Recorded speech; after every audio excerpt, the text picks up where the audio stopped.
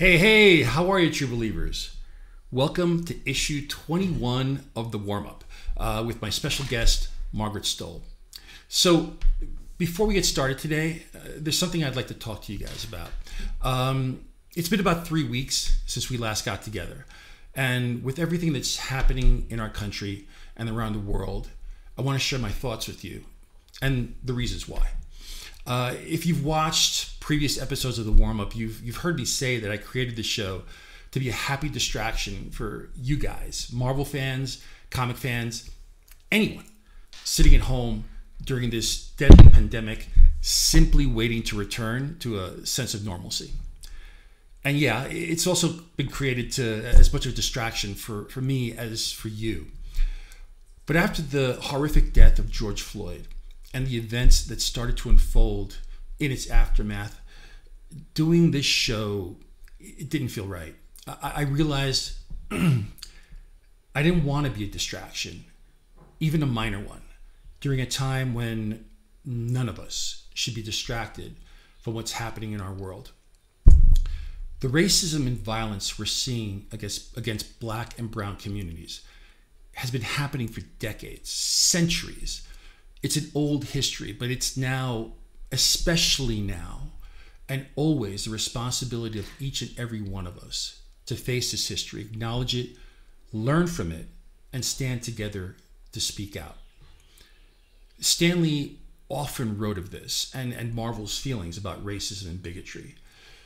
In 1968, he said the only way to destroy these things is to expose them to reveal them for the insidious evils they really are. His words, they ring as true today as they did then, but it saddens me, and I wonder what Stan would think if he knew that we still had to be repeating them with the same fervor that he did 52 years ago. Like Stan, I and everyone at Marvel have always known that this is the only way forward, the only way. That's why we stand with our fellow black employees, storytellers, creators, and the entire black community. We stand, as we always have, for inclusion and love. Here on the warm up, I'm going to continue to talk about comics and creativity as I always have. And I'm going to continue to talk about love. How much I love all of you out there. Look, I know we're going through rough times now, and at times it can feel pretty bleak. So let me leave you with a question that Stan actually asked us all decades ago The power of love and the power of hate. Which is the most enduring? When you tend to despair, let that answer sustain you. Let it sustain you, me, let it sustain us all. Love you guys, and thank you for indulging me. Now, let's get on with, uh, with this silly show. Um, our, our, first guest, uh, if you don't know, is is an amazing talent, author, world builder, entrepreneur, philanthropist, and and surprisingly, a great friend. She slums it. It's Margaret Stohl, or Margie, Margie, as everyone at Marvel calls her. We can't figure it out. She'll let us know which is right. I say Margie. Um, but before bringing her on, before bringing her on, I, I have I have some disappointing news. Um, I'm bringing on a co-host, and look, it's not my choice, right? He, he was a co-host uh, for Paul Scheer's show, and you know he's he's he's he's on the he's on salary, and they're looking for stuff for him to do. So I said, hey, would you take him on? I'm like, look, only if he listens and and, and he learns uh, will I bring him on. Uh, another person. Now I'm on the other side of this. A person that unfortunately is my friend. Uh, let me let me bring on my buddy Steve Wacker. Steve, how are you? Welcome, welcome thanks, to. Uh, thanks for the great introduction, Joe. You're welcome, Steve. That was uh, nothing like thank you. You know, it, it, it's. I don't need any more help dragging the show down but I'm, uh, you know, but but they decided to, to sidle me with you. So so here we are. I gave you a 35 page document about me to read, and you didn't read a word of it. No, not, not a word, not a word of it. But look, enough about you, right? Let's talk about our guest, right? Let's. Should we bring her on? Should we bring? Should we bring her on? What do you say? Absolutely. Do you call her Margie or Margie? Which way do you go? I go Margie. I go Margie. So we'll fight this out later. All right, let's bring her on. ladies and gentlemen, uh, Ms. Margaret Stohl. Margaret, how are you? There she Hi, is. Joe. How's Hi, it going? Hello, I love Margie. that. I love that. It was hi Joe. Hi Steve. Yeah. Hi, Steve. Steve, let me just excerpt this 35-page document. I'll, I, I'll just quote from you the whole time. That's great. If you don't mind reading it as part of a post-show thing, we can add it on to this uh, clip. I'd appreciate it. Salient points, and I can tweet the rest. It, it will last me the next 35 years. You can see the bullet points we worked on behind Margie. Yeah. Like those Yeah. were outlined. Mar- I think Margie. Yeah, she's she looks like she's trying to solve the world's ills. This is crazy. You know, it's it's uh, it's it's mad scientist stuff. My- It's my beautiful mind's uh, whiteboard walls room. It's That's it's awesome. the room where it happens, Joe. You know, there's a little yeah, let- madness. let's- Let's let everybody see it. Let's say, oh, there it is in full. There we go. Look at that.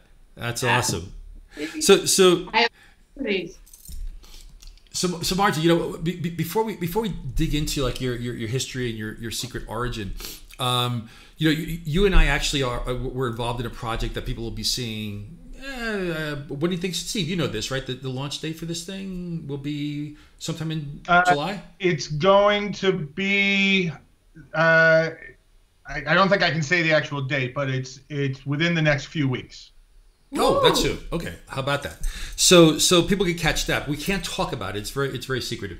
So, um, but but one of the things I wanted to, to mention is that you you and I first met at one of the big Marvel writing summits, writers summits, you know, creative summits, and I was so taken aback because again, when when, when new people come in, um, they're they you know two things happen with new with, with either young creators or creators who've never been in that kind of a that big a room, right?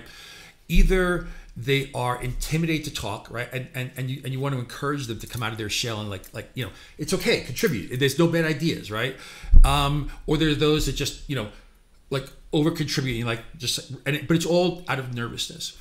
But you just sort of jumped into the flow as though you had been doing it for so long, and and the only thing I could attribute that to was, you know, your your long-standing career in video games and also co-writing a lot of things. You've been in rooms like that probably longer than I have.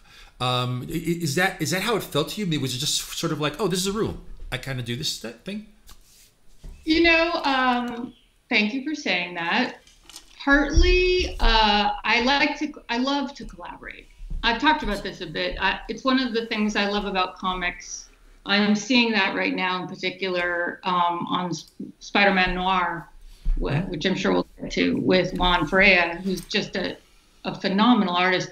But um, and I and I learned a lot of that one of my first lessons about that, Joe, is from you collaborating with you on Life of Captain Marvel when you really, in the editorial process, you and Sana, you would be like, stop, pause, pull back. This is like, this is a moment for the artist to tell the story. And that truly is what I'm always looking for, which is learning and working with people who are better than I am, even. And and I want a jam session where I can get to a place I couldn't get on my own. Mhm. And that spirit is always really present in those Marvel Creative Summits where people are jamming and they're trying to get somewhere collectively together. And I just love that. I love different brains, you know? Yeah, yeah. I, that that that's always the, the the fun of it. Fun of it for me. Um, unfortunately, Steve is in that room too, and you, you know what that's like. Oof, what a bear. Uh, so Margie, that, now you grew up in California, uh, but you used to spend your summers in in Richfield, Utah. Um, and and uh, tell us a little bit about that because that, that also became the, the the setting really for the, the the thing that kind of really brought your name into the mainstream, right? Which is you know the Caster Chronicles and you know Beautiful Creatures. There it is. Right. Hey, you, you don't have to work that hard. Look, I got I got it right here. You know. Um, yes, I uh, I was writing about my grandmother's and mother's and grandfather's town in southern Utah. My writing partner Kami Garcia was from the equivalent small town in North Carolina, Pilesville, I believe. And between us, we realized there's the great uh, casserole belt, the cream of country that exists and kind of spread from southwest, you know, the sort of rural communities and r- the rural south. and so that was really fun. But I uh, I like to write about those sort of fishbowl communities where everyone is watching everyone. Um, and is in everyone's business and you you love and hate the place and the people you're from and that's kind of what i'm always working out so wow. so yeah and so tell us about the you and i talk about this you know a, a bit in in, in, uh, in, other places but um, i know your mom was really really instrumental in uh, in, you your creativity your outlook on life um, you mind talking about her just a little bit? Because I, I, I, I, just I, I always love how uh, when we dig deep, how how our parents either you know launch us in one direction or another, and, and what it takes to do that. Well, really, Joe, remember in that uh, Captain Marvel and Steve, you were there too when we broke out uh, Life of Captain Marvel in that story summit. Um, it was uh, we just were like putting all our family I was going to say junk on the table, but that didn't yeah. quite seem right. But uh, we, we could just like put it out there. And that's really like the stuff that, uh, the relatable stuff that everyone has in common is sort of those, the like, the frailties and the strengths you get from those relationships, right? We talked about that. The, the origin story for, uh, for, for a human is a family story, right? Mm-hmm. And so for a superhuman is, is still sort of a super family story. So, um, for me, a lot of it comes from that. My mom has been sick. She has multiple sclerosis. So that's been um, a thing that I've been sort of working with and around since I was 12. And um, that was a really like a shaping thing for me. But my mom also is a really strong personality. And my love of reading comes from her going and tracking down books for me. I wrote about this actually uh, for Marvel not too long ago from an independent bookstore by my house uh, in near UCLA, and uh, and just sort of reading to us in the car, and and so my voice and a lot of my sort of vulnerabilities come from my mother, which is an interesting thing. You can see that in Life of Captain Marvel. I'm really working out um, like what is the relationship between Carol Danvers being super strong and you know and sort of the the female role models in her life.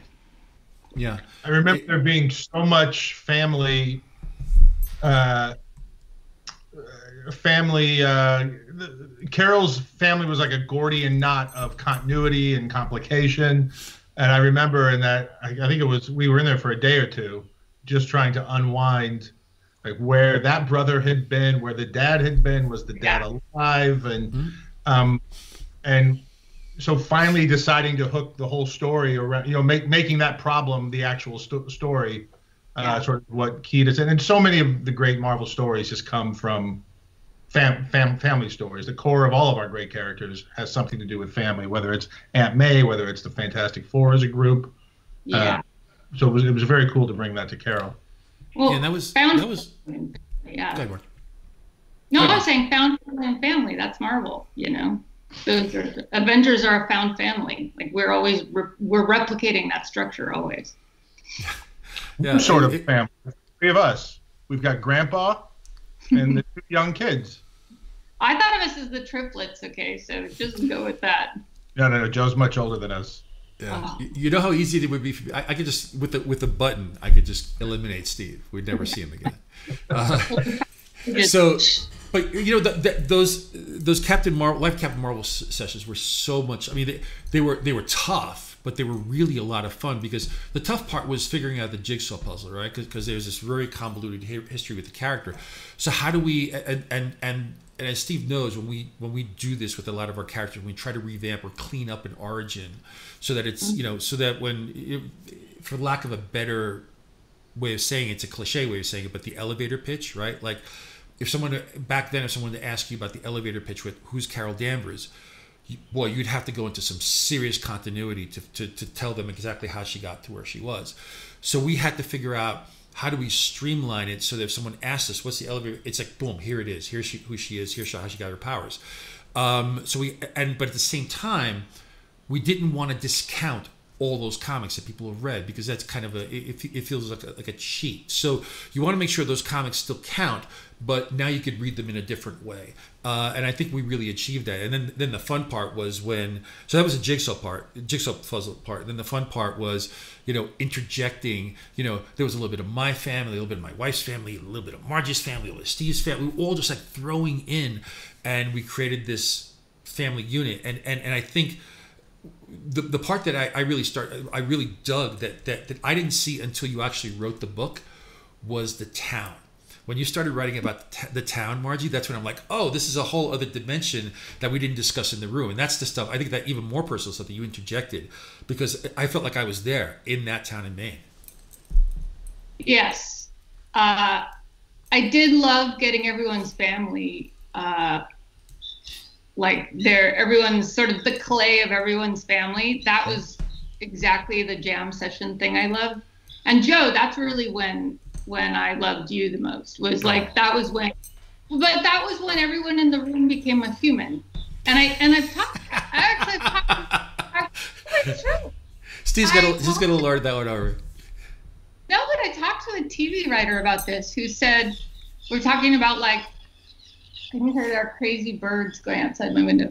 The, um, talking about like when people actually bring their like humanness into a writing room, a uh-huh. writer's room, and like when you start making meaningful stories is when like people hear each other as humans and see each other as humans and like allow that that sort of personal storytelling in and i know for me that's where like the good stuff always always comes from because then i'll feel passionately and I will do a better job. But I said this to you before, Joe, like that, those two days, breaking out that story, that conversation about all of our families in that writer's room for Carol Danvers, that was, um, that was really like the first time that I understood that the, the creative product was a conversation. Yeah. Like the powerful thing was the conversation. And when we left there, I remember you saying this to me. You were like, "This is it. Like this is special. Like we got it." And um, it's the first time that's ever happened. I, am not sure it's even happened. It's probably happened since then, but I don't know that it has in that powerful of a way where like, yeah. where like the the thing happened in the room, yeah. and I just had to write it after that. Yeah, no, she like, she it, suddenly suddenly she had you know she was she was living and breathing for all of us. We're like, okay, you know now that's the matter whether people like the story and, and, and it was really really really well received um, so, so Mark, again in terms of your secret origins do you remember um, the moment a spark where you know i'm sure you know you were you were an avid reader but where was there a point where you said this is what i want to do oh for sure um, for me, uh, well, I was really shy. I didn't, which I know you'll find hard to believe. I didn't yeah. talk to anyone outside my family until about third grade, and I just read books all the time.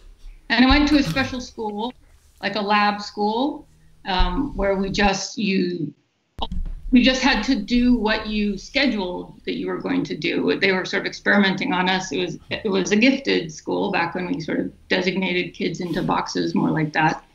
And um, I just scheduled reading room the whole time. In fact, I learned my multiplication tables on the yard in sixth grade out of shame, like from a friend. But uh, I just read books, and um, I started like Narnia was an early influence for me. Hope was always a fantasy book. It was about escape, and um, but the book that created me really as a writer was it's not famous. It's called it's a series called The Dark is Rising from a British author named Susan Cooper. And, um, and that's really, I think, the only person I've fangirled in my life to that extent where someone uh, gave me a signed book from her and later I got a signed letter, like a letter she wrote me, and I just started bawling like hysterically. But that was, you know, that was about a, you know, that was a, a high fantasy, you know, nerdly British, you know, traditional J.K. Rowling before J.K. Rowling. And Joe, you should always learn the nerdy poem from the front of your fantasy book, which I did because I was the head of the Dark is Rising fan club. So that was my start.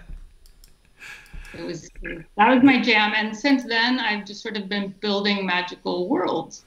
Um, and because my first, I sold some screenplays, but really my first extended creative job was in video games. I actually really learned to build worlds in 3D, which is a different thing, you know, entirely sort of weird, a weird side of my career. But yeah, I've been like basically a, a fantasy or science fiction world builder with a real emphasis in uh, like emotional human stories for 30 years.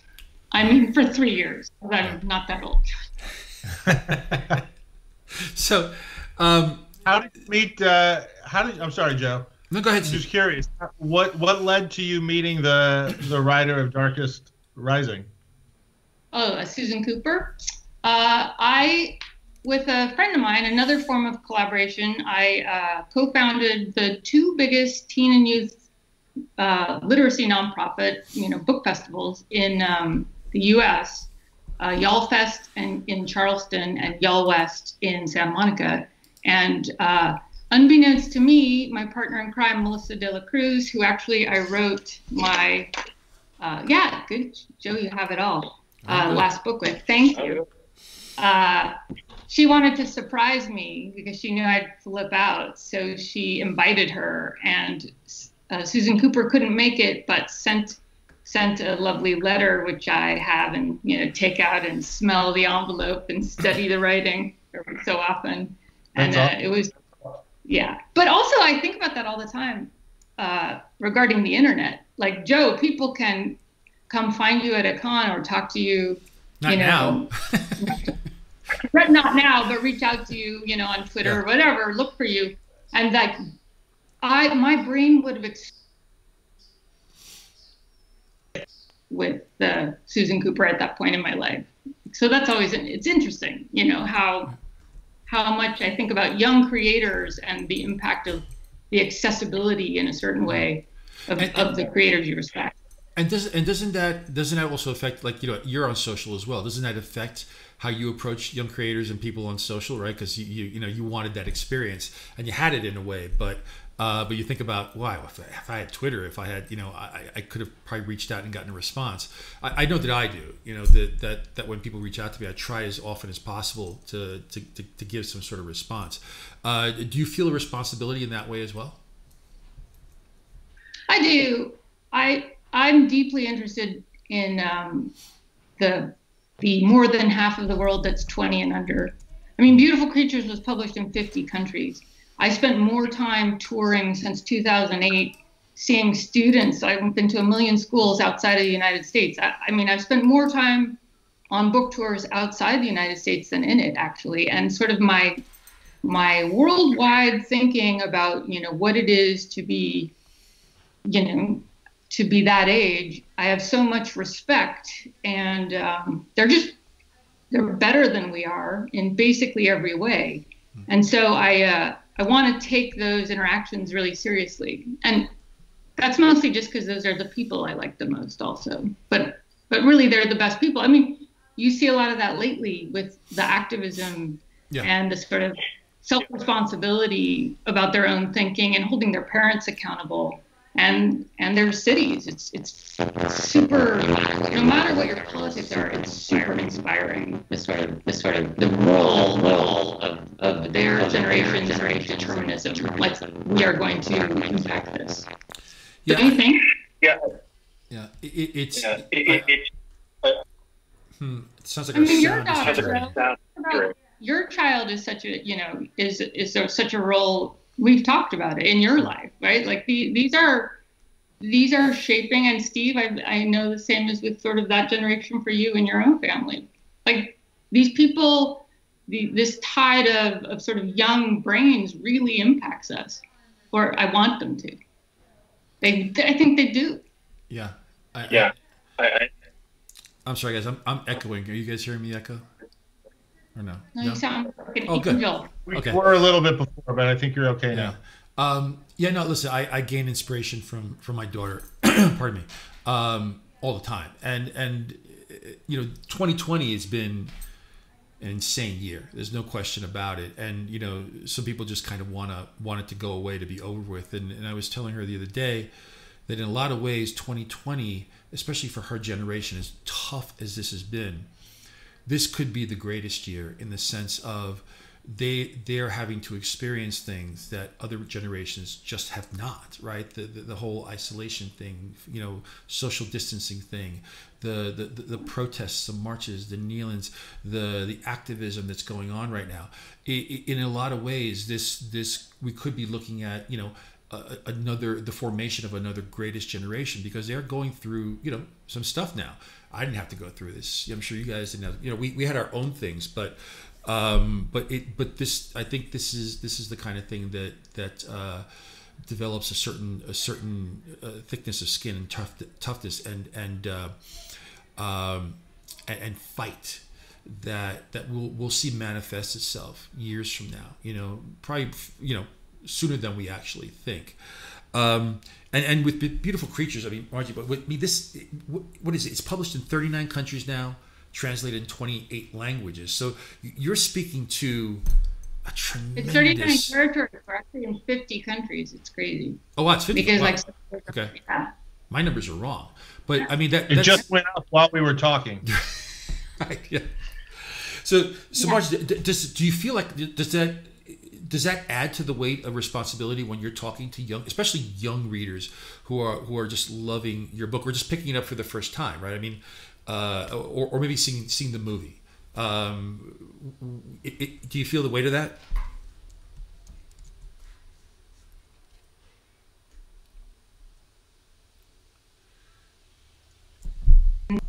In a bunch of different media.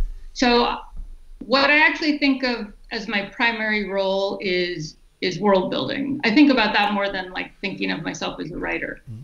And what my focus is kind of what it's what I call foundational IP. It's like worlds that then are expressed, you know, in a book or in streaming content or in a video game or a comic or a podcast.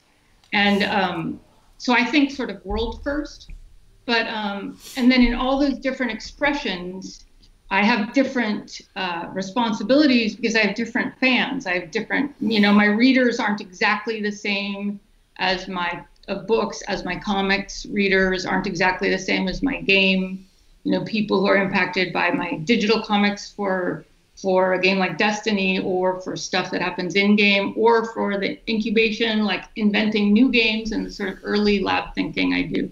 So I feel it differently for for different um, people, and that's interesting when you mean kind of different things um, to different folks. But I do take it really seriously mostly because I want, particularly for young creators, I want them to understand that they have to be the first person to take themselves seriously. So I take them seriously, and I I believe they they can do it. You know, generally I do. I'm surrounded by so many talented youth.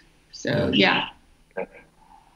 That felt like a lot of blah blah, but you know what I'm kind of saying. No, no, I, I, I totally get it. I, and, and, what I find fascinating is, is you know, is, is I peruse your history, right? I mean, you, you not only have you been creating at a very young age, but you you were also you know for example you right you you, you wrote for your high school newspaper uh, and you created a lit, you created a literary magazine in college right so so yeah. I, I think it, it was it was a, a foretelling of not just the fact that you're creative but you're also creating venues and outlets, not just for your own creativity, but but for others, right? And, and so so YALLFest feels like a like a real natural outcome of that. Um, oh, it looks like did we freeze? Yeah, we did. Wow. Okay. Huh. Oh, Skype. What happened to you? Hmm. Did we lose something? Wait. Oh, hang on.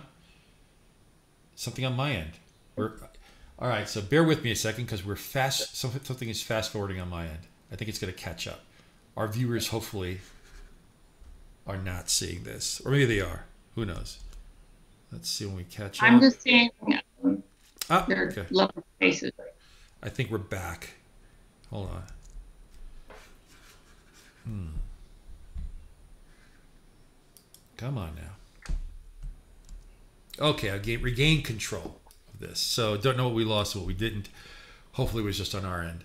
Um, but yeah, so, so I was saying that you know you're creating venues and outlets for for not only your creativity but for others. So uh, and I know, know, we touched a little bit on on YALLWEST. Can, can, can, you give me a little more about it because I, I, really think uh, YALLFest. I'm sorry that then and then you created Y'all West, which is part two of this. Uh, give our viewers, you know, a, a, real lowdown on this because I, I, I think it's a it's it's a it's a it's a great thing, and uh, I will join you. I promise you. I'm one of these. Yeah, you're you're going to. I've had Steve. You you. Uh, I've been to you, four or five of the y'all the y'all list. It, it's terrific, and it's such right, a now now I'm feeling terrible. Feel, you should. Um, should. Although I want to say thank you for not coming because uh, I'm sure I would not have been inv- invited.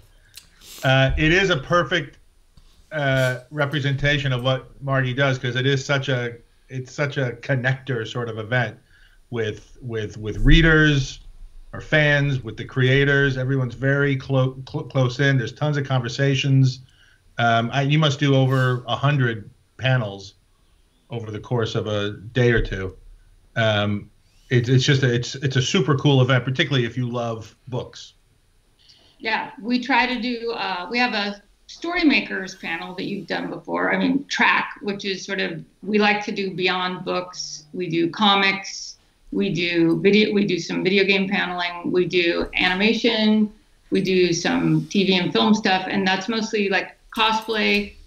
Um, my theory is always you need to go to the channels where you know the communities you care about are. And you need to help them find their way to their most uh, important powerful stories. So in la in particular which has a um, such a creative community, some of the most important stories aren't necessarily in a book, and that's okay. Like that's sort of the beauty. I love books. I love getting that many words to play with, but I also I love comics. I love the way an image tells like you know comics always have sort of three stories going at once, and they're sort of like the you know the story in in your protagonist character's head and the story in the world and the relationship between the images and and sort of the dialogue and the storyline. And I, I love that. I mean, that's a, a much harder thing to get at in different media. And actually, video games are kind of closer to that, where there's this rising action and sort of compressed, um, you know, VO and longer, detailed lore that has to be built out offline. But I really love juggling kind of those different ways of telling stories. So we tried to do this really um, inclusive event uh, in terms of sort of the reading communities and the authors and the kinds of creators we have. And I think that's worked out so far. Our last in person one got 30,000 uh, people to one day in Santa Monica, but our Y'all Stay Home virtual festival this year got 90,000 people wow. from all around the world. Yeah. So that was really cool. I mean, 90,000 not even viewers, like committed registration, signed up, went to special panels, like yeah. you know, people who really had to show up. So that was that was fascinating. And we saw it as a tragedy that we couldn't meet in person, but so many of our international fans saw it as like just this huge bonus that they got to go, you know. Yeah. The thing I missed uh, is the snack room because is it it is one of the best collection of candies uh, I've ever seen domestically. Really, Steve? I do take candy very seriously. Yeah. Really. As a really. candy connoisseur, it's uh, as, as a green room. Of, Steve, Steve's a green room connoisseur. He yeah. he, uh, he actually green, has a blog. Was He's not rated, invited to the green room, but I don't know. I, I, mean, I've been to those creative summits. I'd say you guys could work a little harder on some of the uh, green room amenities. the uh, there is the one sandwich kind, and there is the no. There are the empanadas. Those are good you don't know this, but Joe makes all those sandwiches the night before. Thanks. Um, prints the box with the, yeah. I want to get back a little bit to something uh, related to world b- building. Um, if I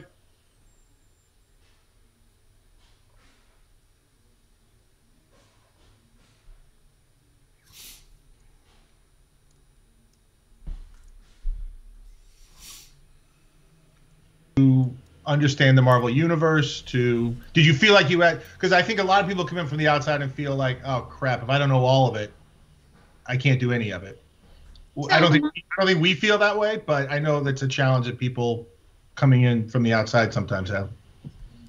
Well, I think it's like anything where people assume that everybody else knows everything and that nobody else is as stupid as they are when everybody else is scrambling and has holes and you know everyone has those same fears in a certain way. But uh yes my i mean i read i read i'm typical in the sense that i had two brothers and i had access to the comics they had the action figures they had.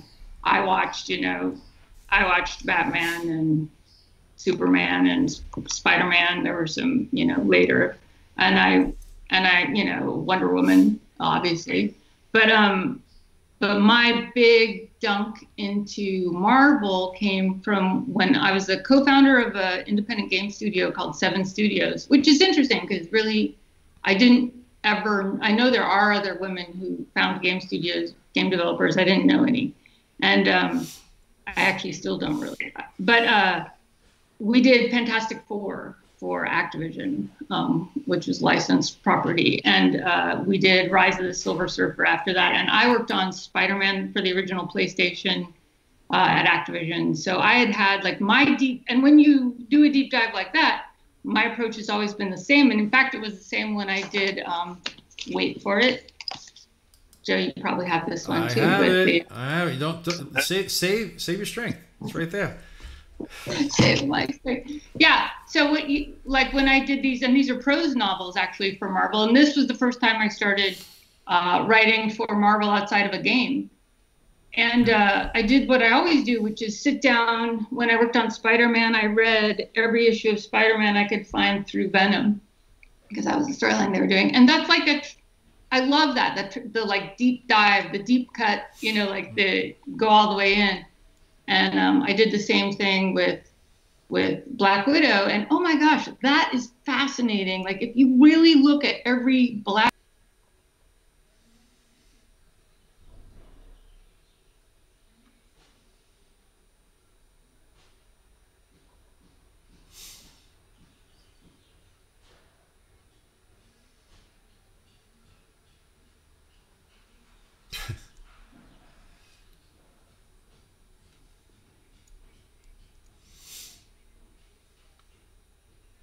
the big the big deep dive because I was always looking for like what is the sort of what it, what is the um, what what can all what can 80 years or 60 years or whatever have in common? And it's always something to do with like a, a question they're asking the search they're on um, the nature of their heart you know like what their what what propels them their propulsive sort of soul at stake as my friend jay would say.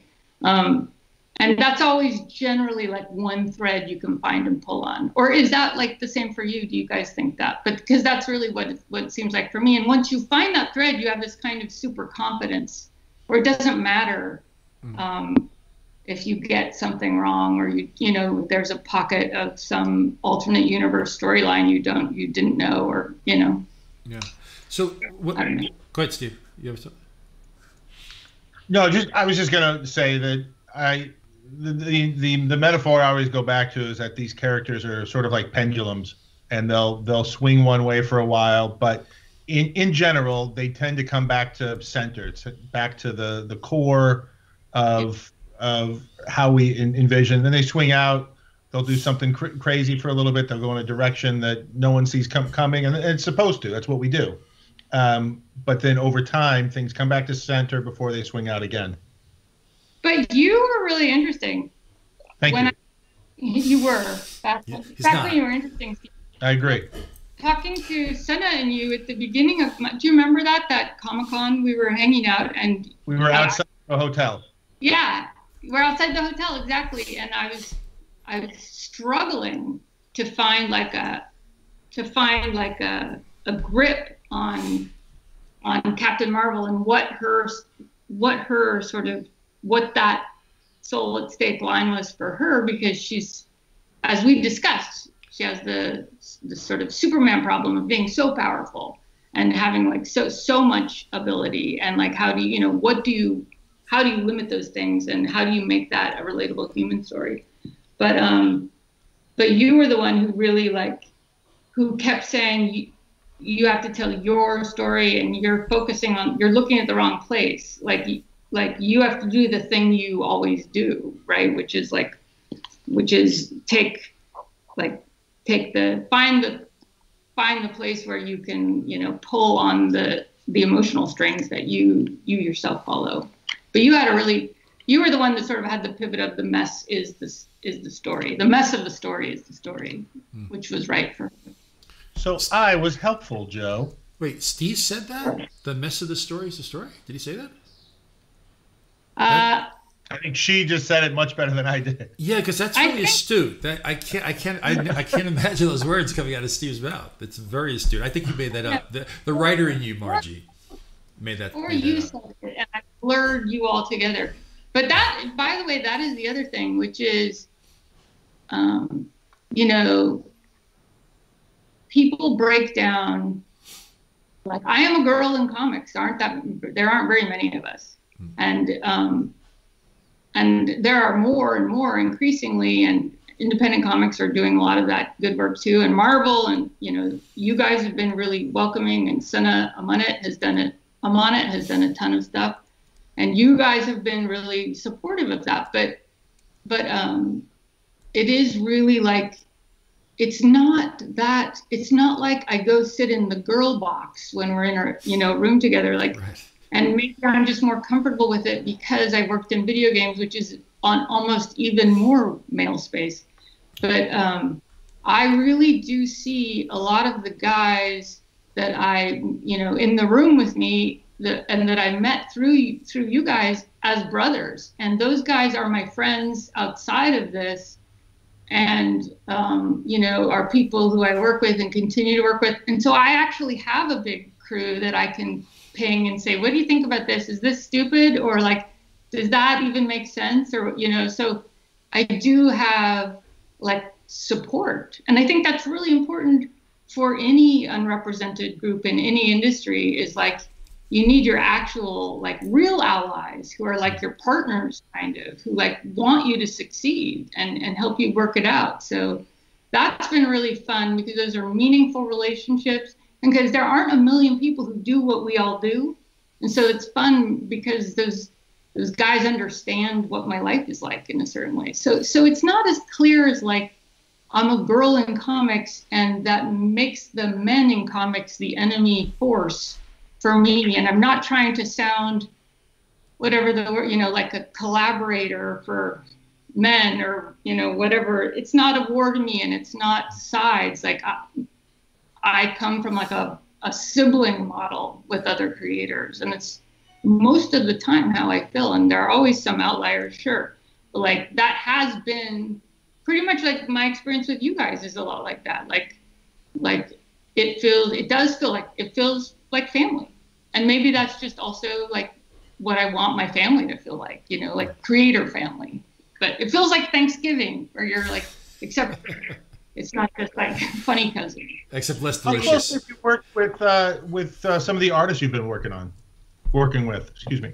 I'm uh, well, so uh, I am differently obsessed with a couple of the different artists I've collaborated with, but um, but uh, I had a really great experience with Carlos Pacheco and Marguerite Sauvage at uh, when we were working on Life of Captain Marvel and Joe. And, I mean, Joe, this continues to be this and the uh, Lighthouse cover you oh. did oh. are just my, I would frame them in my house. They're incredible. I haven't even seen that one. Yeah. Mm-hmm. Cool. This is the. Uh, this is the. Um, here, let me get rid, here. Here, this this way you can see it. There you go. There. Now people can see it better.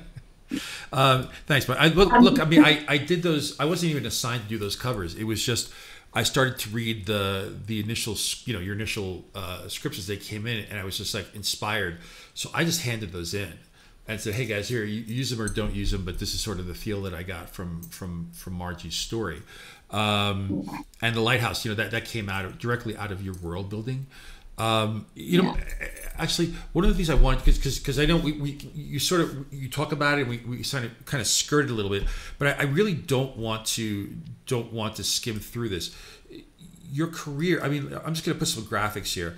This is just a small sampling of how many games you worked on in your video game career, uh, nominated for award. I mean, you're you're you're so well known in this field, but I think we take it for granted right now um, that you know when you started in this field uh, as a woman in this field, you know it, it, it what was like. I mean, you were doing this for 16 years before you even you know wrote Beautiful Creatures. So, what was it like? You know, sort of getting through the door and and and working in that world and, and also were you a gamer before this yeah i i mean i've always been more of like a i mean there are more women who play games in the world than men right right that's a that's the little known and the off-sided to each other that you know we women in games say to each other but like that's a fact so hmm. like for me you know i'm like i do some you know, I, I uh, would play some Destiny when I worked on Destiny.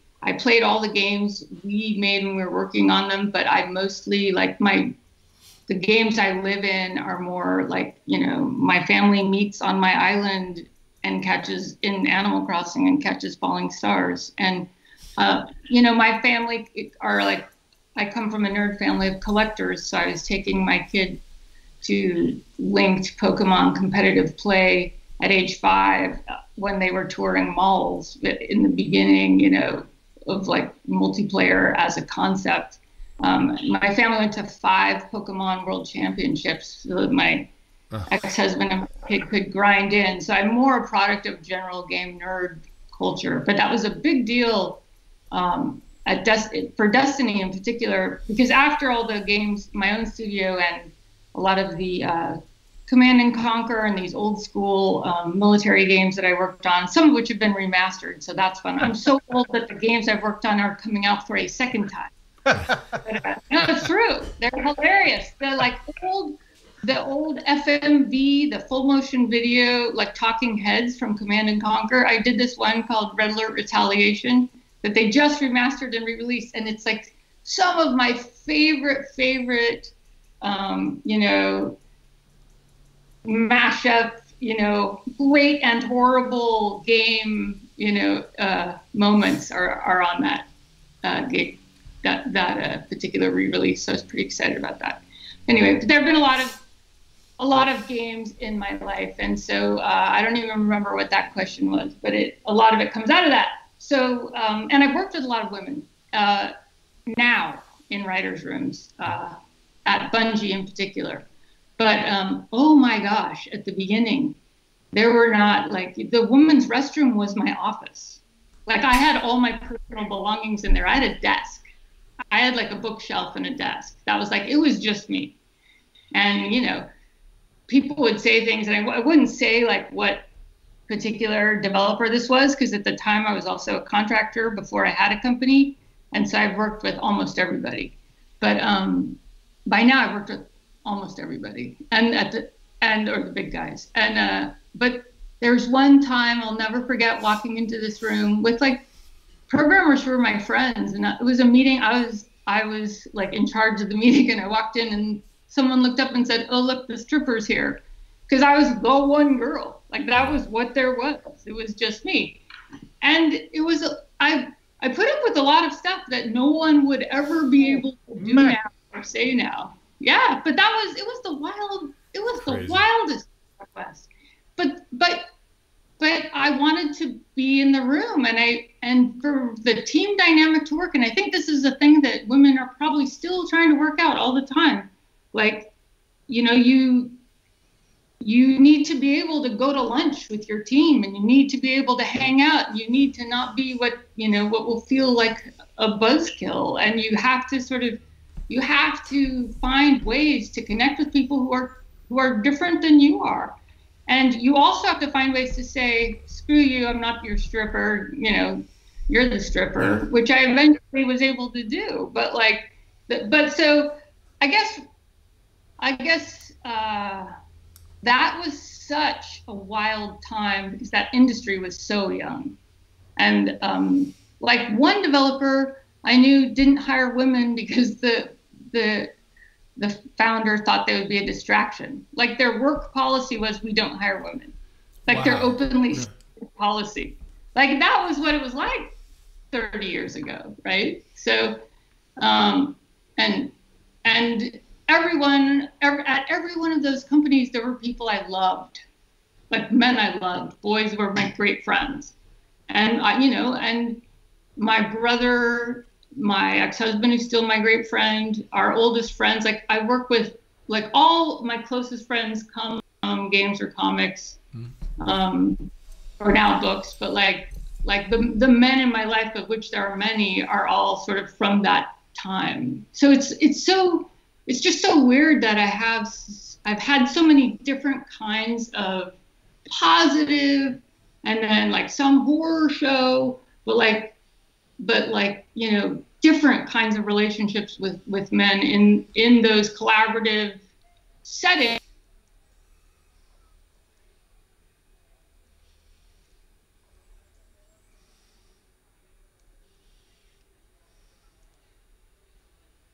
Yeah. we're always working it out Yeah. Yeah. I. I, I, I uh, I remember uh, you, you you've met my wife, uh, Margie, and, and you know, she she uh, uh, I'm not going to talk about where she she worked. She she ran Marvel Knights. She I mean Marvel Knights was actually was actually a company that was run by women. It was it was it was my wife Nancy and Oh, that's and, and her assistant uh, Kelly. It wouldn't exist without the two of them. I mean they they, they just kept us Mm-hmm. going um, and did everything. All the all the business you, you name it. It all funneled through them. Um, but you know, previously she had worked in other places in the comic industry and, and for, for many many years. Uh, without naming names, I mean, there, there was a thing she would always say to me because I would hear these stories, many of them pretty horrific. Uh, Yeah. She said, "You know, I, I I love what I do. I hate who I work for." Um, but the love of what she was doing and the product she was putting out was so important to her that you know she sort of grinned and bared it and stuck through you know as, as things changed. Um, so I, I, I think that that's the case you know with a lot of women. I think it's the case with a lot of people right? If you, if you even, if, even if you're not a woman you just work for idiots right? It's, if you love what you do you kind of stick around uh, because you Yeah. love it. Um, but I, I yeah, I go ahead sorry. No, I think that like there are definitely some I hate who you do it for. Uh, I've had some of those moments in the game in the game industry. Um, I haven't had that in comics in the same way, but I will say that way more like honestly the the men the conversations we have the jamming like they could like you guys could not have been more welcoming. Could not have been more welcoming in terms of the those big as you were saying could be intimidating creative meetings.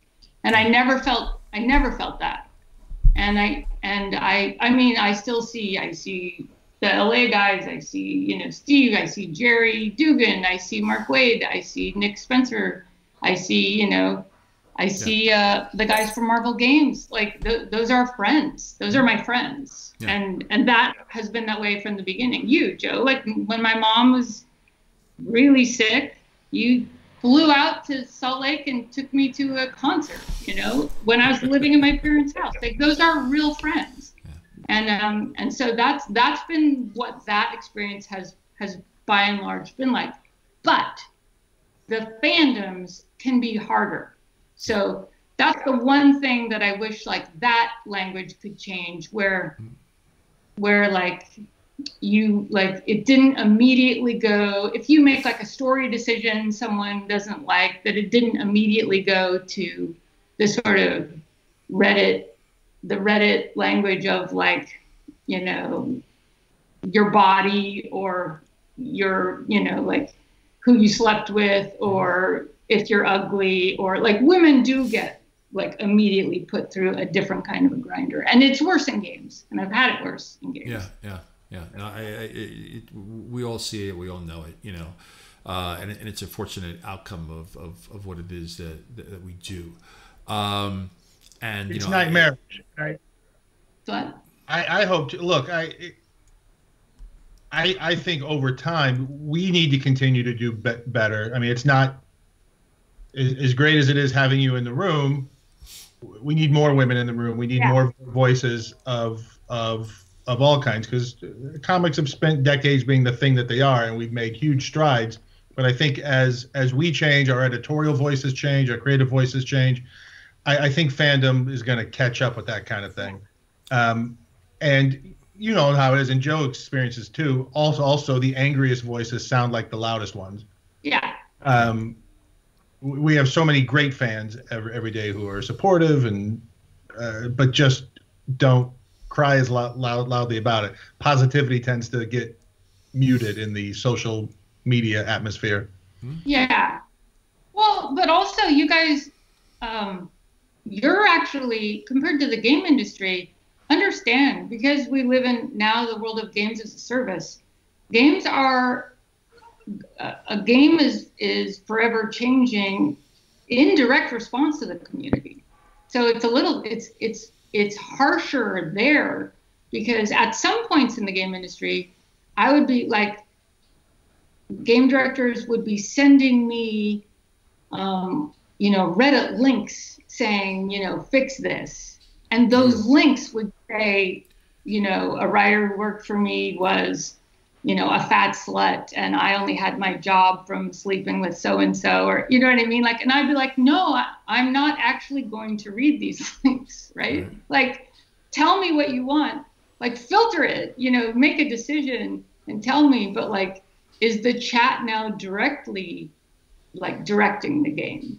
That would, you know, like, and you guys are not like that. Like, you guys mm-hmm. really have, and I think that's an editorial tradition because there's no equivalent of like there's no editorial responsibility in a game. There's like a, there's the development team, but like there's no person sort of sitting on the level of like the story and the characters in like specifically with an eye to edit to sort of say what what is the sort of cultural product we're producing in a certain way. You think I'm I'm sorry, I'm kind of yeah. You're bouncing off something in my head, and I'm just wondering: is there any similarity to sort of the living, breathing Marvel universe and the fact that it's always changing and it's built to change and it's built to adapt, blah blah blah.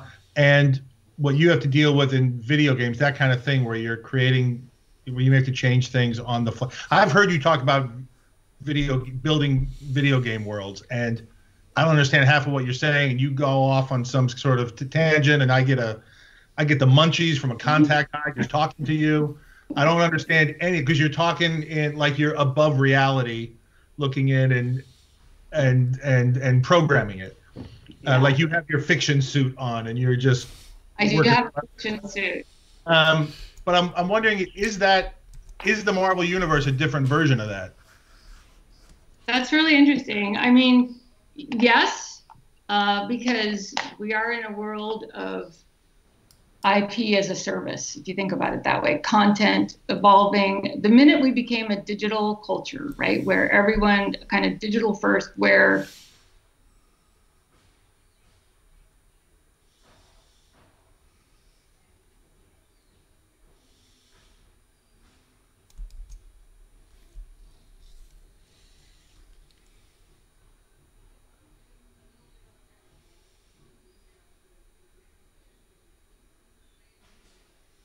Hmm. That's it. That's an interesting way of saying it. I didn't realize that. Yeah. But it's true, right? Because yeah. your your consumers do juggle the alt storylines and do have room for five Spider-Mans and are or you know uh, have a have a more sophisticated kind of content consumption than people have had in the past. Mm-hmm. And you know, and that is certainly true in the game industry where and Steve, I've talked to you about this before, where we have like 10 year olds are reading build notes about like versions of games, you know, that are being updated every week. And I've had arguments with like pretty intelligent arguments with with fourth, fifth, and sixth graders about like the pricing model for a subscription game versus a DLC game expansion pack and what's a ripoff and what's not, right? Literally with children. That is true. You can ask any child in America their position on loot boxes, for example, or whatever. Like they, and that's a truth. So, like the the way content, like, uh, and that's not just Americans, but like the way we now consume content is professional and is, I think, also from the perspective of a creator, because everybody has social media, so they all have a platform, they all have a brand we definitely saw that in books. We saw a shift from people wanting our autograph to sign a book to people wanting a selfie with us because that was the way our brand was helping their brand. Like they could post it. And that was like their content. So they used our content to create their content, right? Like, and it, they were, they now had a different place in this sort of ecosystem of, of, of consuming and telling stories. And it happens all at the same time. And those things do impact each other. So that's a long way of saying, yes, uh, Marvel is a lot like a live service game because you guys are a living, breathing organism in that in the creative uh, council. Think about it that way, and I'm sure also at an executive level when people are planning a product because right now a product is a is a slate like a product is a release schedule it's like how do all these how do these action figures sit with these short you know animation animated pieces fit with these tentpole movies, fit with these comics, fit with these trades and graphic novels. Like that's the product, right? And Marvel has, understands that that people are going to read things in the context of other things and consume things together. And that's what games are like right now. The difference with games is it's just there's less attention to all the other pieces because the focus is really still just on the game you know like they don't care as much there's not there's really not usually like in, unless you're pokemon right who works really like clearly in you know the the pokemon the pokemon animated uh, tv series came out one year after the release of the first pack of cards so that's always existed together but except for that like games don't really they have never been able to effectively capitalize on those big narratives that they build in games. So is it depressing so much?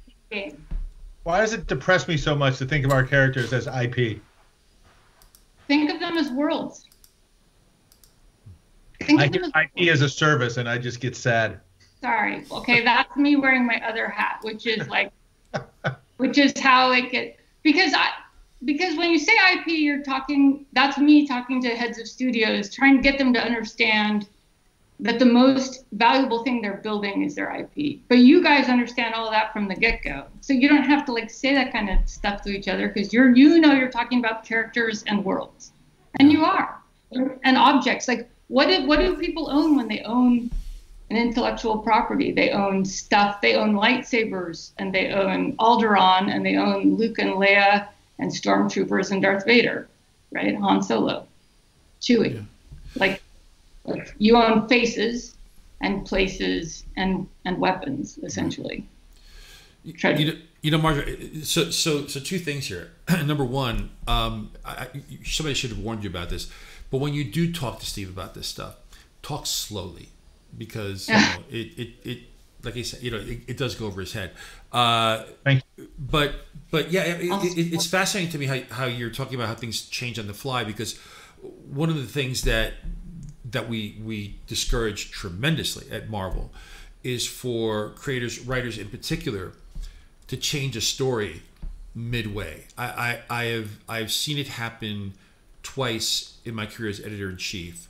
Um, both times I, I, I warned, don't. It, it, was it was just sort of you know writers getting cold feet and changing a story based on you know they, they, they have a let's say a six story six issue arc and the first issue comes out and there's internet feedback coming in saying oh my god oh my god we hate what's going on here and then them getting cold feet and saying i'm going to change the ending of my story and and each time i want to say don't just stick to your guns do what you're doing it's going to yeah. be fine each time it ended up terribly right because because you're not going to please anybody stick to your story uh, yeah. And, and then there was one other time where i had a creator who wanted to change the ending of a story months after it was published in a collected edition because fan feedback to the ending of the story uh, was mm. not what they wanted. Uh, and that we just put we put our foot down. and said, no, we're not doing that. Uh, the story is the story. Um, so it's fascinating to me that that uh, and, and, maybe video games is a different animal in that sense. That that somewhere in the middle of this game based on you know some feedback. Now I understand like if there's technical feedback, like hey something's screwing up with the game, you gotta fix that, right? But changing story, I mean that, that's a common thing to just say okay we're gonna we're scrapping it. We're going instead of right, we're going left. You look like you had a something brewing. I was wondering if Joe was going to make some news and start naming names. No, I don't do that. Naming story. Uh, but I, I have seen video games where they've released DLC that did change the end. I want to say they did that with uh, Mass Effect. Yeah, they did. They I don't know the specifics. But, but you also, but but think about, um, well, Mass Effect's endings were super controversial, and there were a bunch of them. But the um, okay. but but right now, um, well, all the naughty, so Naughty Dog um, just released what you call it. Um, Last of Us two. Last two, right? And that's a really interesting example of a game that narr- really narrative driven. It's really, I mean, Naughty Dog people will tell you they're interested in sort of interactive movies in a certain way. Like that's a, that's truly those are narratives that they're like you're getting to play. But I think that um, like they tell a story.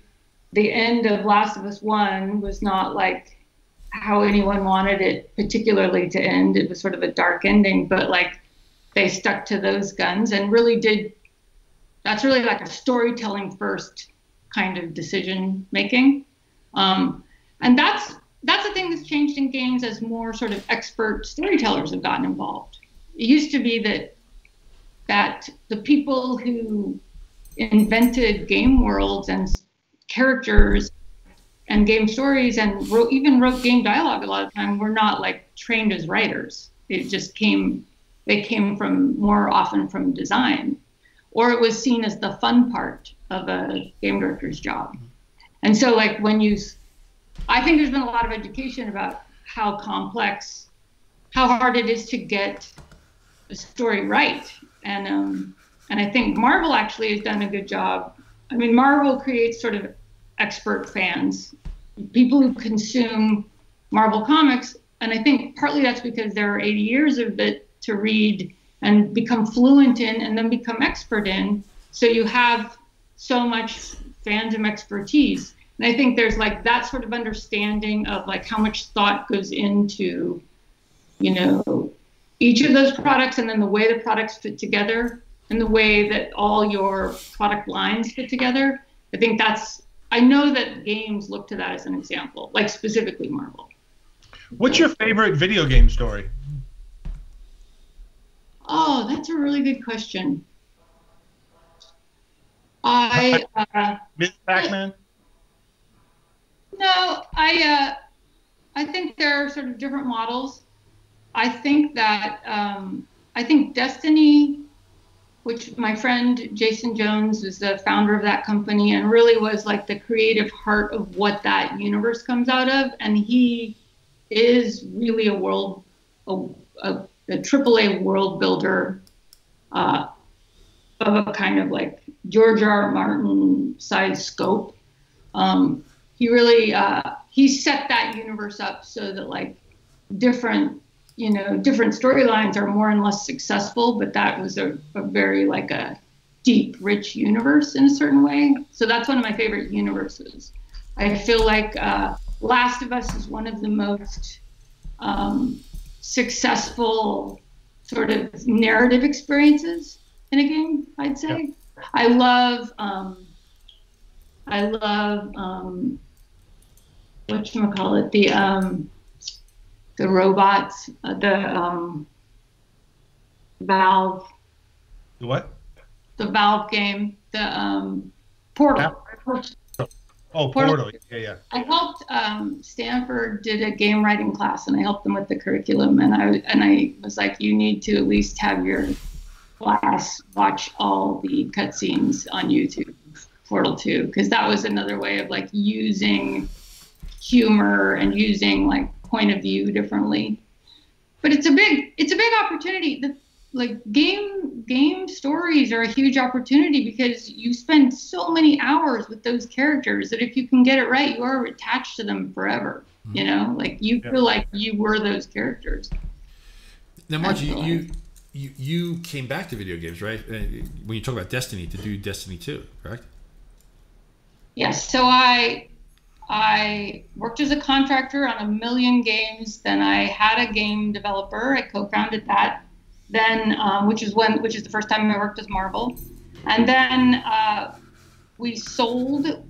We began working with Activision uh, as a company, and with them, and we had been, and then we sold our company. They acquired us, and um, I said I really had this strong sense that I had never written a novel, and I had, you know, I'd loved books going back to my Dark Rising, um, you know, fan club days. And I uh, really felt like it was a thing I had to do and a story I wanted to tell. And this, or, a, you know, I wanted to be that kind of a storyteller.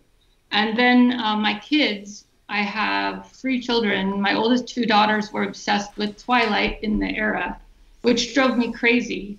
And I was like, um, first of all, this, this, this, this, this, you know, like why can't the girl be powerful? And and why does she does that character only, you know, everyone else gets to be a vampire and the main character girl only gets to like be a fan of a vampire. Because this is before Katniss Everdeen and Hunger hmm. Games. So uh, I we set out to write kind of an opposite Twilight. And that just I wrote it with my daughter's third, my oldest daughter's third grade teacher, who I, Kami Garcia, who I had come to know well, who interestingly now uh, writes comics uh, for DC. I had just finished working on a Harley Quinn uh, and and a Joker project, but um, she was dark and I was light. That's how that worked out. But uh, the uh, the um, we wrote it as friends, basically, uh, because we loved fantasy books, and she taught fantasy book clubs at my house. And then my kids would read them, the pages after I wrote them uh, at night, and uh, that took 12 weeks. And I had no idea how to write a book, but we just sort of did it and that was sort of the launch of the, of the whole thing. And why, what was the question even? I don't remember. well, you were talking about beautiful creatures, which, by the way, was a question that we were going to ask. Um, well, I was asking about like you, you know, you you talked about Destiny two, about, about Destiny, the, the oh, video game, and you, you oh, actually oh, yeah, you came back. Into, you came back to Destiny. So I got into. So I wrote that book kind of by accident. Um, I wanted to write a book. I didn't understand how that was going to work out and that book sold instantly. It sold in a large way, and it sold to a movie before it had even come out. And it was, you know, Amazon's top. It was on their top ten books, you know, even for adult books of that year. It was their top teen book. It was 2009. So, um, and I didn't even know there were like best of year lists or any, like we were, we had no clue. We hadn't been tracking any of it. So um, that was like a sudden uh, baptism by fire, you know. So for the next decade, that was what I did was just sort of keep up with that because uh, for YA a series you have like a you have to hit every year you have to get a book out you have to sort of serve the series in a certain way mm-hmm. and then you want to start sort of doing other things so I basically just toured and wrote and lived in a YA world, which is super interesting because it's all women. Yeah. At the time, it was mostly women. Uh, and then when that all sort of settled down, that when the series was under control, you know, I started. Uh, Sana reached out, or no, uh, Emily Meehan at Disney Hyperion reached out about Black Widow, and that's when I started working with you guys, which then morphed into actual comics and yep. Captain Marvel so that was my then yes, and then that, and then working with Marvel. Uh, meant I started getting calls again from you know people saying, "Oh, you're back, you're back with Heroes," you know, like when you were doing Fantastic Four, are you back in games? Which led to more consulting jobs mm. of me saying, "Oh, that might be fun again." But really, I ended up at, working on Destiny again, uh, as a favor for a friend. And okay. my brother works as the Call of Duty guy, so I I have always given advice and helped out there. Cool. Well, Mark, because I, I know we're, we're starting to run long, I want to hit on uh, two important things. First of all, your latest novel, uh, Jo and Laurie. Um, and you, have written this uh, with Melissa Cruz, uh, de la Cruz. I'm sorry. And uh, so, so tell us about this. I mean, this, this, it's, it's a bit of a. Well, I'm, I'm not gonna go ahead. Tell us about it. I'll let you let you do the sell. Uh, this is a. You have the graphics. So I, I don't have to hold this. Yeah. Uh, this is a. Uh, it's a retelling. Um, the Greta Gerwig movie came out this year, and uh, similarly, this book and because there was just like I think it was like the 150th year anniversary. Was that what it was? Yeah. Um, and so uh, this is a retelling that I particularly love, partly because it's kind of fandom me, where it's like this was a meaningful book that first showed me uh, a girl being a writer. Jo mm-hmm. March in the book in the films. Uh, that book has been adapted, by the way, so many times. You can see Katharine Hepburn as Jo March, or you can see the Japanese anime series of Little Women. it's it's across the board.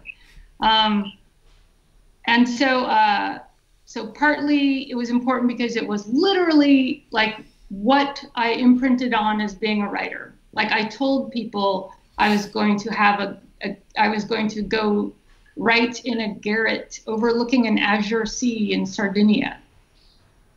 Never been in any of those places, but that was like my plan because Jo March went and wrote up in the garret of her house, had a writing cap, ink stained, ink fingers, and um, it also is about fandom. Jo March is a huge fan of Charles Dickens in the books. They have a club, the Pickwick Papers, which always reminded me of um, the Dark is Rising fan club, right? So like. Mm-hmm it was about like loving books and genre fiction. Jo writes these like Roderigo and Rodanthe, these like, you know, very like high, high, you know, fantastical genre pieces. And uh, that was what I wanted. But but uh, I also hated the romance in that uh, original book because it was sort of like a it's a failed like the writer Louisa May Alcott sets up like the perfect you know, love story and then sort of nukes it, which is fascinating also. So we set out to kind of like examine what would be uh, if we could tell it differently, but also really to look at what it's like to write, uh, to be a writer, writing the story of Little Women. So the short pitch of the book is it's like if Jo March was writing the book Little Women about her family. We sort of collapsed uh, the the writer character and the the uh, the writer of the book herself. Cool. And it's been interesting. And, and, this just came out, correct? Yeah, it came out a week ago. Uh, like you, uh, there were so many important stories going on in the last couple of weeks that we, uh, you know, pulled the plug on a bunch of events and sort of, uh, you know, didn't didn't do much about it. But um, it is out there now. We, we uh, we love it. I uh, I went to grad school before all of my game life in 19th century American literature, so it was really fun to go back and kind of write in the style of Louisa May Alcott, which mm. I was miraculously able to do. So this is another kind of full circle project where yeah. it wasn't me like coming back to games, it was me coming back to like weirdly my school. I went to school with Emily Dickinson's house on my campus. Oh wow. So, so, yeah. So, so Marge, we're, we're, uh, we have a few fan questions. Are, are you uh, yeah up for it? Just, yeah. just, just, okay. We got three quick fan questions. Let's see what we got here. Um, hold on. Let me uh, let me find them here. Uh, okay. First question. Oh, uh, this is from Thomas Alwyn. He's a fan. He's he's he's always asking uh, great questions. So he's uh, he, he, missed he missed the show, um, and he loves our guest, um, and he's looking forward to the rest of Spider-Man Noir. And the question is, so question: Spider-Man Noir has a very cinematic feel to it. How is it different mm. writing this comic compared to others you've written, and and compared to novels?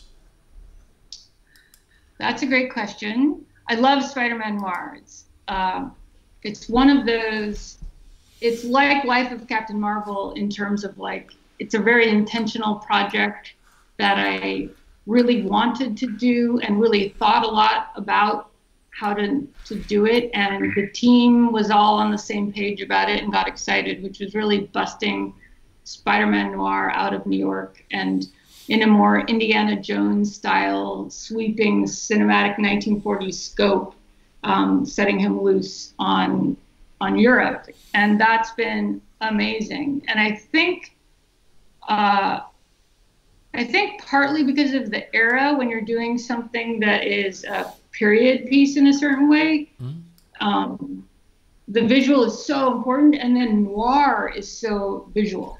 Yeah. So like. I've been really aware that noir has two great components, right, that make it perfect for a comic. One is it's visual, like it's a, it's like very like incredibly cinematic visual storytelling with like the striking images, dark and light, but also it's this incredible banter of this sort of like particular kind of like back and forth, fast talking, you know, um, black cat got scratched. See, it's got the like that, and that is really for a writer. So yeah. I think it's similarly inspired Juan Ferreyra, who is like just incredible, off the hook, like a bizarre genius, and also me because it's fun to write. So um, putting Spidey in that context was was really fun. Uh, and getting to tell a big story with like you know London and Berlin and and you know heading Istanbul you know direction was mm-hmm it, it has big adventure stories. So that was super, super fun.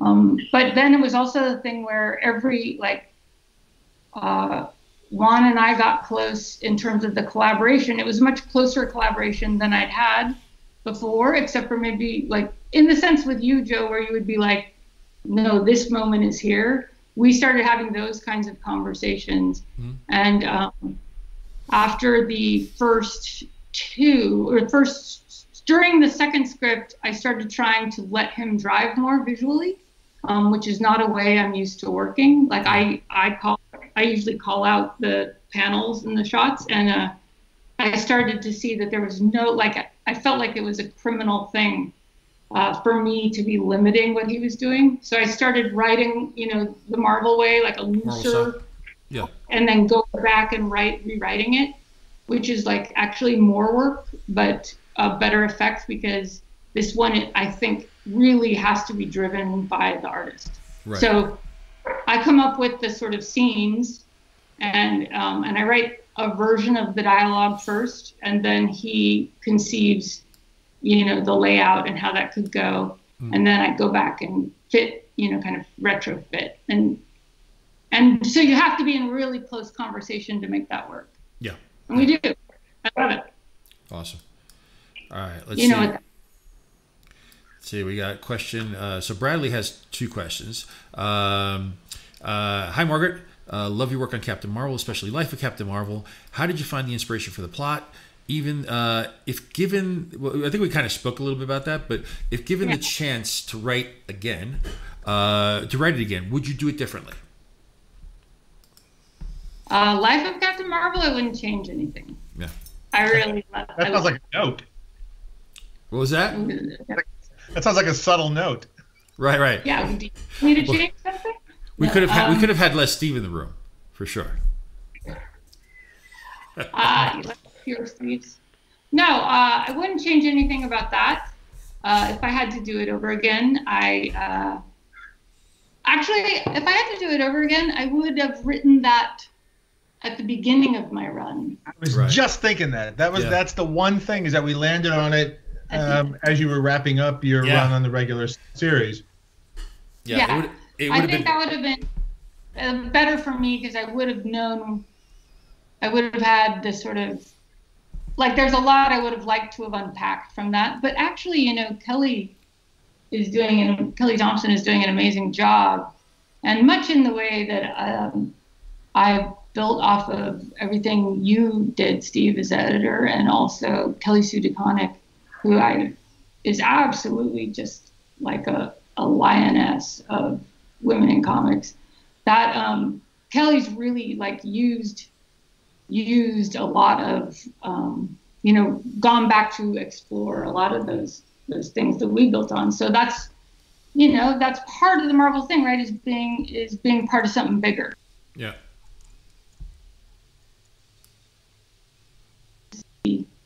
Uh, what pe- where people take it.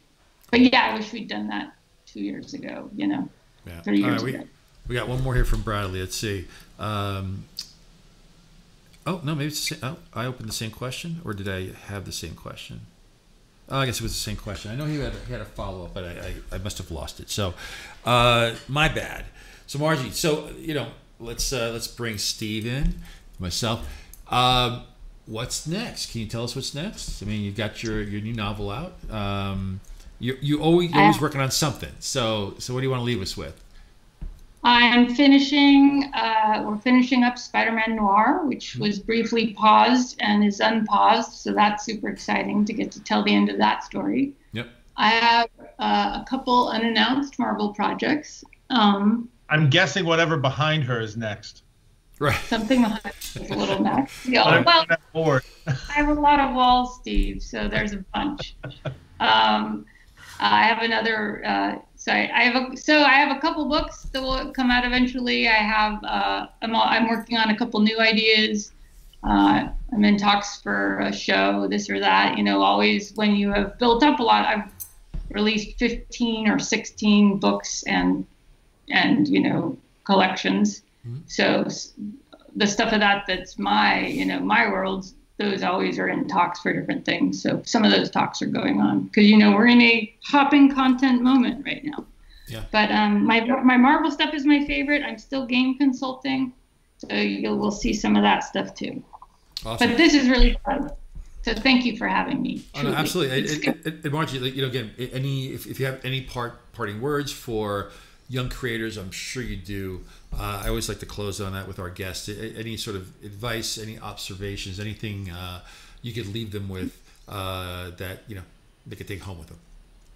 Yeah, I wrote this in uh, the creator letter in the back of the uh, first issue of Life of Captain Marvel. But um, I think I, for a shout out to girl girl creators, the hardest thing about a hero's journey when you're a girl is figuring out that you're on a hero's journey and that you're allowed to be on a hero's journey. And it's pretty hard to write about a hero if you can't see yourself as the hero of a story. So I encourage all of you guys to realize you're on a hero's journey because you are. And um, you get to have that. So go have it. And I'd say uh, you think your stuff sucks for any creator, and uh, suckage is part of the process. It's a process phase. I write something really sucky every day, and if I didn't, then I couldn't be fearless enough to write something that didn't suck. That's my advice: is don't be so hard on yourself, and realize you're you are on a hero's journey. You're gonna you're you're gonna nail it, guys. That's awesome. Margie, thank you so much. Really appreciate it. Uh, you know we love you, and uh, come back. Come back, and uh, next time, you know, when the next book comes out, when the next project, we'll we'll, we'll do this again. We're going to talk before that anyway.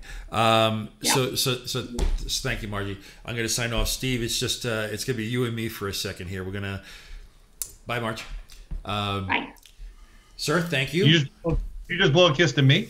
no, Yeah, that's no. Page Margie's still there. 35. Margie's still there. It- It's it, it, it, this reminds me. I have a I have a, a friend who whose mother, uh, when she she talks to her mother every day, and her mother uh, somehow or other has not learned how to hang up the the iPhone, and every conversation, you know. Bye, mom. And then she hears her mother complaining about her about that conversation, and it's always like, "I'm still here, mom." You know, it's uh, that's what that Margie moment reminded me of. Steve, thanks, man. I, yes, I'm actually saying thank you to you. Uh, th- th- this was this was great. Uh, we knew Margie's great, and uh, and you were okay.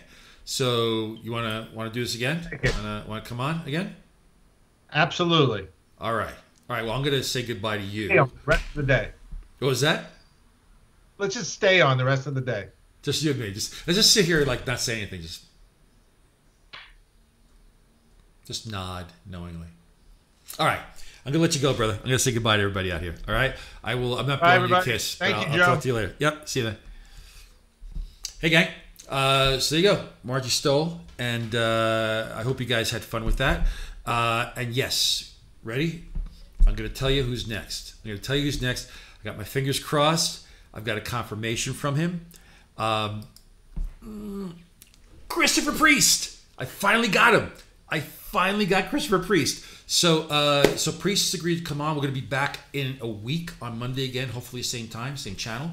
Um, and uh, again, I, I, I, hope this happens. I hope it does. Uh, but I think it will. I really think it will. It's going to be a great, great interview. He and I go back a long, long way. He's the guy that discovered me and got me into comics, and also the guy who recreated the Black Panther uh, over the Marvel Knights imprint. So we got a lot to talk about. So, so come back next week and, and we'll do that. Uh, as always we will be continued to be continued. Uh, love you guys. Uh, stay safe, stay healthy, and I'll see you in the funny books.